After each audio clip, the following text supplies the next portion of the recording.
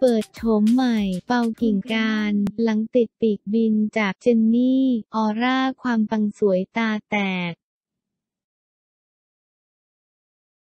เปิดโฉมใหม่ เปากิ่งการ หลังติดปีกบินจากเจนนี่ได้หมดท่าสดชื่น พร้อมอัพหน้าทำจมูกใหม่ แต่ออร่าความปังเปล่งประกายแบบสุดๆ ยิ่งนับวันความสวยออร่าจับของนักร้องสายเลือดใต้ เปากิ่งการ จะทวีคูณขึ้นทุกวันหลังจากติดปีกบินจากค่ายเพลงได้หมดถ้าสดชื่น หรือดีเอ็มของนักร้องลูกทุ่งสายเลือดใต้ด้วยกัน เจนนี่ได้หมดถ้าสดชื่น หรือเจนนี่รัชนกเหมือนชีวิตของเธอจะกราฟพุ่งแบบสุดๆ ชนิดที่ว่า ใครๆต้องหลีกทางให้โดยวันนี้ข่าวสดออนไลน์จะพาไปทำความรู้จักเปากิ่งการโชมใหม่ที่บอกเลยว่าไม่ธรรมดาเลยทีเดียวสำหรับเปากิ่งการส่องสว่างเป็นสาวใต้หน้าคมจากจังหวัดพังลุงเกิดเมื่อวันที่ 20 ธันวาคม 2542 จบจากวิทยาลัยเทคนิคพัทลุง ซึ่งความสามารถของเธอไม่เป็นสองรองใคร เพราะเคยได้รางวัลระดับชนะเลิศระดับชาติ จากการแข่งขันประกวดร้องเพลงไทยสากล ประจำปีการศึกษา 2562 จากนั้นเป่า เป็นหนึ่งในศิลปินของค่ายเพลงได้หมดถ้าสดชื่น โดยได้ออกเพลงชื่อ พอแล้วหัวใจที่มียอดวิวขณะนั้น 9 ล้านกว่าแต่กลับค่าตอบแทน 8,000 บาทแถมท่อนฮุกในเพลงดังกล่าว เปาบอกว่าเธอเป็นคนแต่งแต่เจนนี่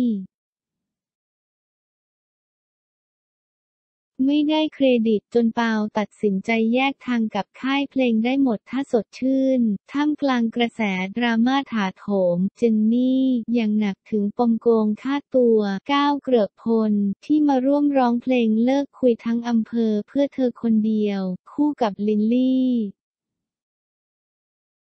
ได้หมดถ้าสดชื่นหลังจากที่เปาออกจากค่ายเพลงทำให้ชื่อเสียงของเธอโด่งดังมากยิ่งขึ้น และงานรุมจีบให้ไปร่วมงานยาวเป็นหางว่าว รวมถึงเปิดช่องทาง YouTube ของตนเองเพื่อให้แฟนคลับติดตามผลงาน พร้อมกันนี้เปา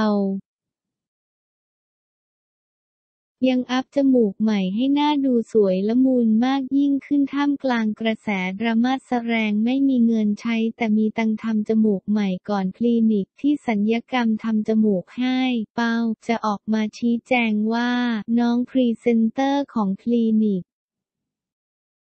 แต่ออร่าความสวยกลับปังไม่หยุดเมื่อเปาปรับลุคของตนเองให้ดูแพงมากยิ่งขึ้น พร้อมปล่อยซิงเกิลเพลงเร็วเพลงแรกในชีวิตกับมงลงที่ยอดวิวในคืนเดียวทะลุล้านวิวอย่างรวดเร็ว จนตอนนี้ยอดวิวพุ่งทะยานสู่ 18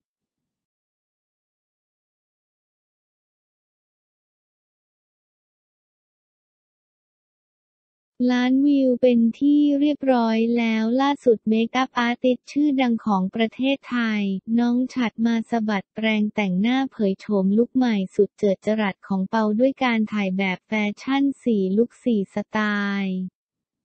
ครั้งแรกในชีวิตกับการเป็นพรีเซนเตอร์สกินแคร์เล่นเอาแฟนคลับตะลึงจนตาค้างแถมเปายังเผยข่าวดีเตรียมออกซิงเกิลใหม่ในวันที่ 19 มกราคมนี้เวลา 9 นาฬิกา ทางช่อง YouTube เปากิ่งการเปาคิงคานอีกแล้ว เรียกว่าในอนาคตเปากิ่งการอาจจะเป็นดาวดวงใหม่อีกคนในวงการบันเทิงก็เป็นได้ เพราะออร่าความสวยของเธอเพิ่มขึ้นทุกวันที่มาพร้อมกับใบหน้าเป๊ะปัง แถมความสามารถไม่เป็นสองรองใคร ไฟสตาร์บวงสวง พี่นาคสามเกมเจมีน นำทีมฮาขนหัวลุก คอลัมน์สดบันเทิง ไฟว์สตาร์บวงสรวง พี่นาคสามเกมเจมีน นำทีมฮาขนหัวลุกฮากันยาวไปตั้งแต่ภาคแรกสำหรับหนัง พี่นาคของค่ายไฟว์สตาร์ โปรดักชันล่าสุดเดินทางถึงภาค 3 ยังคงคอนเซปต์เดิมกับความเป็นหนังฮาชวนขนหัวลุก แล้วเพิ่มดีกรีความสนุกขั้นสุดเมื่อพร้อมเสิร์ฟความสนุกค่ายไฟว์สตาร์โปรดักชันจึงได้จัดพิธีบวงสรวงนำโดย big boss เทียนพรวานิชประธานกรรมการ อภิรดีเอี่ยมพึ่งพรกรรมการผู้จัดการ เกียรติกมลเอี่ยมพึ่งพรรองกรรมการผู้จัดการพร้อมด้วยไม้พลธริศโชติกฤษดาโสพลผู้กำกับภาพยนตร์และเหล่านักแสดงนำอาทิเอมวิทวัตรรัตนบุญบารมี เจมภูริพัฒน์เวชวงศาเต้ชาวัตมีนพิรวิทย์อัธชิตสถาพร แชมป์ชนาทิพย์โพทองคำ ปอนคุณพัฒพิเชษวรวุฒิต้าอธิวัตรแสงเทียน ตูนอติรุตแสงเทียน ซิมคิวเท น้องแทมโป้เด็กชายกันทพัฒน์กิติชัยวรังกูล ซึ่งพิธีบวงสรวงจัดขึ้นภายใต้ความเข้มงวดของมาตรการป้องกันโควิด -19 ทุกคนที่ร่วมพิธีต่างก็ใส่ face shieldป้องกันอย่างดีสำหรับหนัง พี่นาคสาม เป็นเรื่องราวที่เกิดขึ้นในระหว่างการล้างป่าช้าที่ออสสัปเหร่อหนุ่มขุดเจอกำไลทองคำในหลุมศพออสแอบเก็บกำไลอาถรรพ์นี้ไว้กับตัว ซึ่งหลังจากที่ได้กำไลนี้มา มันทำให้ออสมีเกล็ดงูขึ้นตามตัวและเจ็บปวดเจียนตายโดยไม่รู้สาเหตุ ร้อนถึงเนนน็อตคู่ซีที่ต้องตามหาสาเหตุว่ามันเกิดอะไรขึ้นกันแน่ หรือว่าจะเป็นอาถรรพ์ของกำไลที่ออสได้มา หรือจะเป็นผีพี่นาคที่เคยตามหลอกหลอนพวกตนมามันอาจยังไม่จบไม่สิ้นก็เป็นได้ ประจวบเหมาะกับการกลับมาเยี่ยมเยือนวัดธรรมนาคานิมิตของบอลลูน เฟิร์สและคุณโทแถมยังมีแปมแปมยูทูบเบอร์เกาหลีชื่อดังที่ติดสอยห้อยตามคอยถ่าย VLOG ไลฟ์สไตล์ชีวิตคุณโทต้องมาร่วมเวรแก้กรรมของออสจะรอดไม่รอด หรือจะจอดแค่หัวกระไดวัด เตรียมน้ำมนต์พบของขลังแล้วมาระเบิดเสียงหัวเราะให้ลั่นจนกรูดแตกอีกครั้งในหนัง พี่นาคสามเร็วๆนี้